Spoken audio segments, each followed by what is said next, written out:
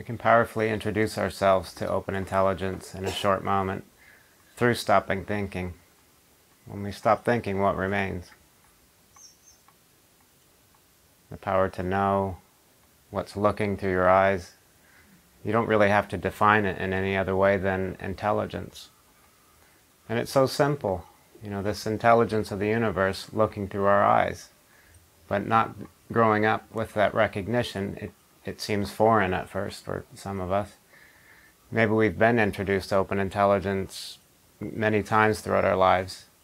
But what I found when I came to the Balanced View training was a direct confirmation of what's looking, so that I could stop seeking for what is the nature of reality Of course, there are all kinds of philosophical ideas and frameworks that we can compare and analyze and talk about and think about. And for me, that was exhausting to really philosophize about the nature of reality. It didn't bring me the direct result of, of relief, of confirmation that all is well. I mean, that's all I wanted out of a philosophy is to know that I am perfect as I am and I fit in and I'm not flawed and needing to be fixed. And the same with everyone else. So this training offers immediate benefit, confirming that all of us are perfect as we are, as open intelligence, regardless of our thoughts, emotions, and sensations, because we have all kinds of thoughts, emotions, and sensations. One minute we feel happy and easygoing, and then we get angry at something and we start to feel agitated and worried and and then we're somewhere in between, not really noticing anything that's going on. So if we were to philosophize about it, we could spend many, many hours comparing, trying to figure out the cause of everything, and just constantly searching for relief and trying to probably get rid of negativity and bring in more positive. So in this training, it's short moments of open intelligence.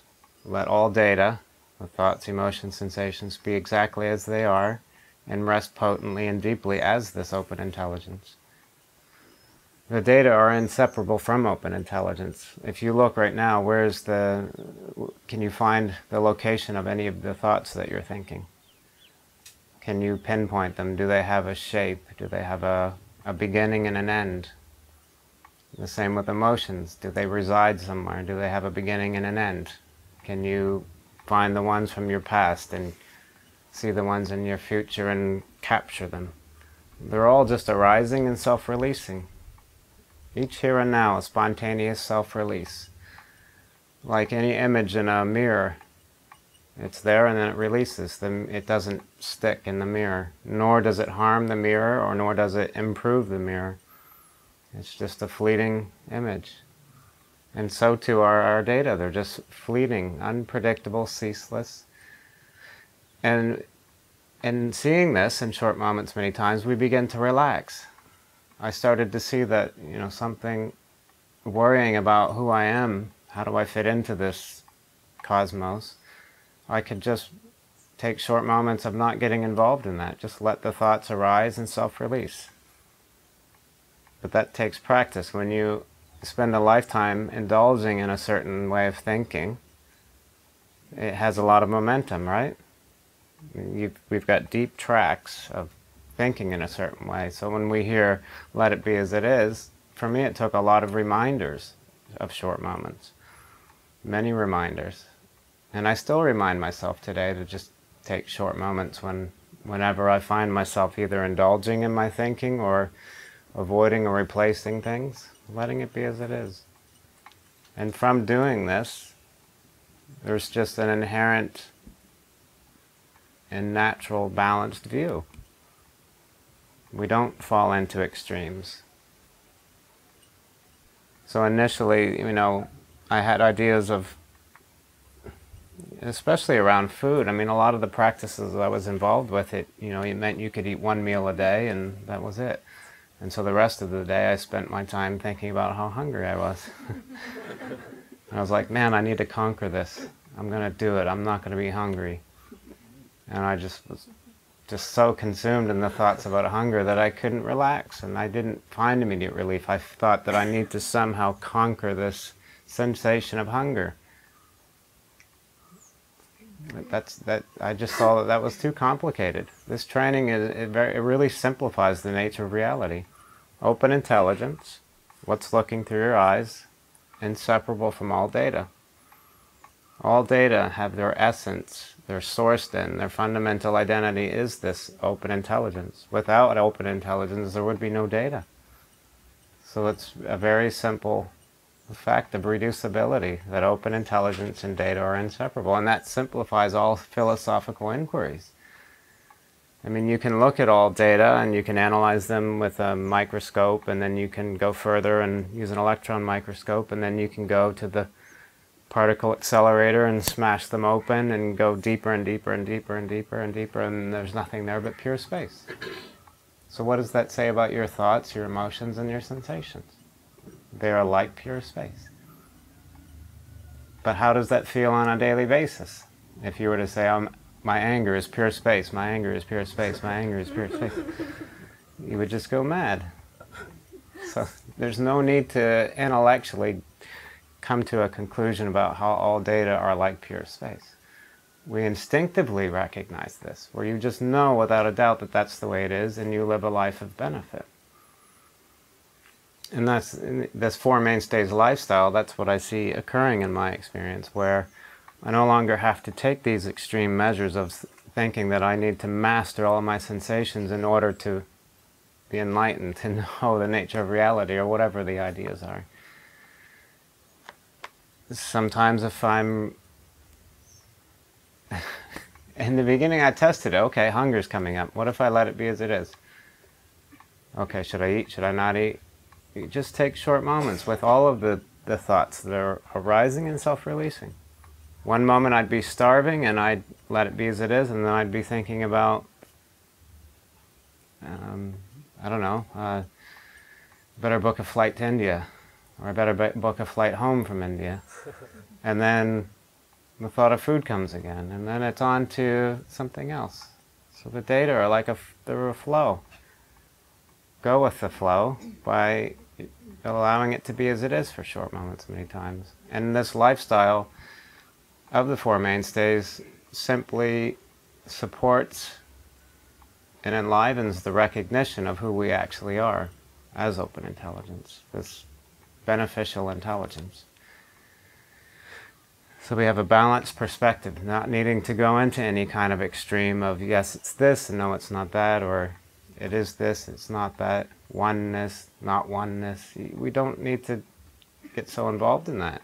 It's just not required to be open intelligence. You already are open intelligence. Um, and it's it's interesting to look at how we how we use our mind to learn to be a human society. I mean, you can look at conventional learning, and it's all based on gathering data accumulating data and sorting it in positive, negative, and neutral, and then coming up with all kinds of theories and philosophies and frameworks so people can live together, hopefully. It doesn't seem to be working out so well. So, by relying on this, on nature's intelligence and letting data be as they are, we just are smarter. We're naturally more aligned with what is needed in each given time, place, and circumstance. And that can include book learning too. You know, I like to read on the internet about different topics and learn more about things. I find it's easier to learn things now.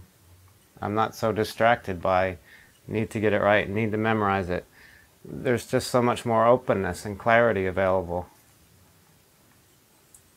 And I can't even pinpoint it as here, really. It's just, uh, it's ever expanding and it just feels so natural and actually enjoyable to live not locked into this idea of a limited human who has to strive for survival.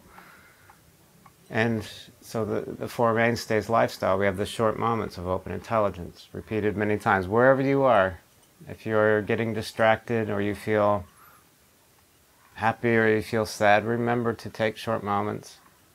If you want to stop thinking to identify open intelligence, that's fine, but at some point you don't stopping thinking isn't the practice. That would be a lot of effort. Like, okay, stop. Oh, stop thinking. Oh, stop thinking. It's just um, for me. It's short moments of complete relaxation. What a gift. I didn't know how to relax before coming here. I really didn't know how to relax. Even ingesting all kinds of things, I still wasn't relaxed. And, but I could see it was because I'm trying to figure it out. I'm trying to work it out. And I could give myself a, a vacation from trying to figure anything out, just resting as I am with all of my thoughts, all of the emotions, all the sensations.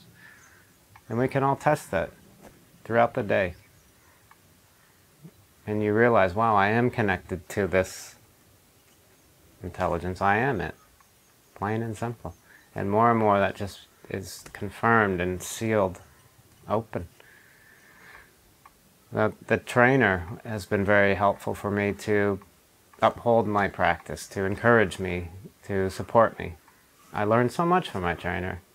You know, just somebody who's gone before me and who's tested out this lifestyle.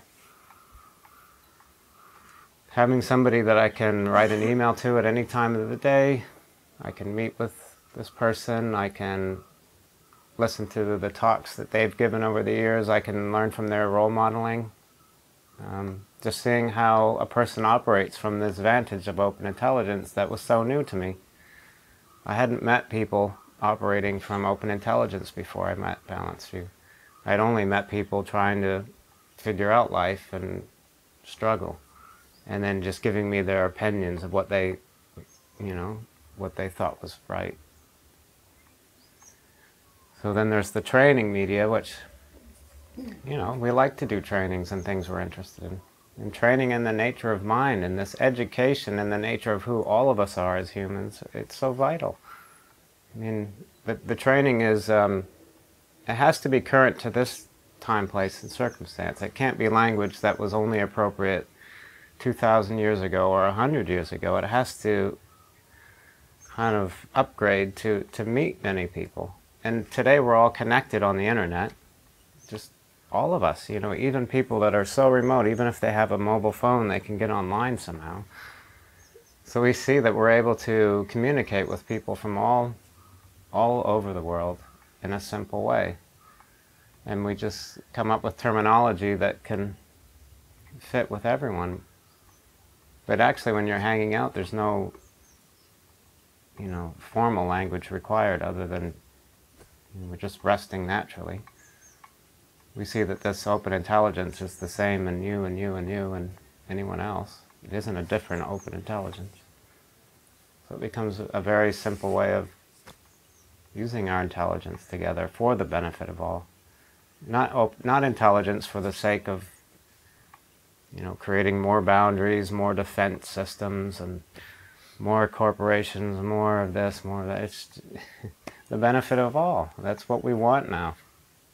You know, whether we think about it or not.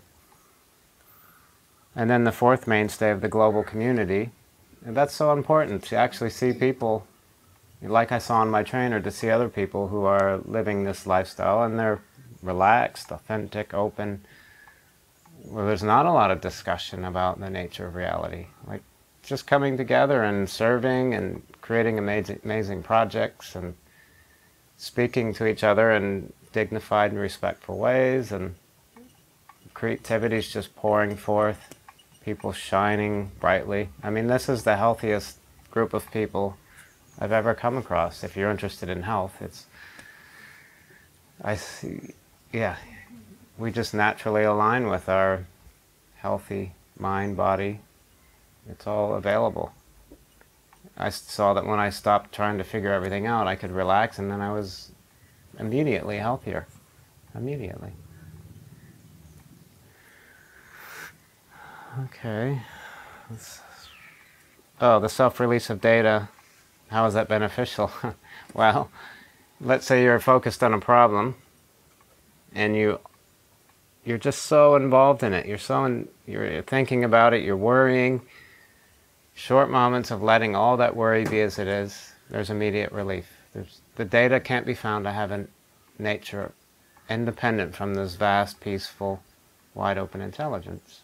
So we relax again and again, and I, I see that the solutions are more available than I'm not freaking out and locked into the problem. The, the solution focus is naturally opened up but just to know that, um, yeah, the inexhaustibility of open intelligence, like the the fear of death starts to loosen its grip, and all of these things that have held us in such a tight grip, they start to open up when we see they're just arising and, and they're self-releasing in and of themselves. You don't have to do anything to make your data self-release; they just do. They're inseparable from bright, vast, open intelligence. And more and more you instinctively recognize that.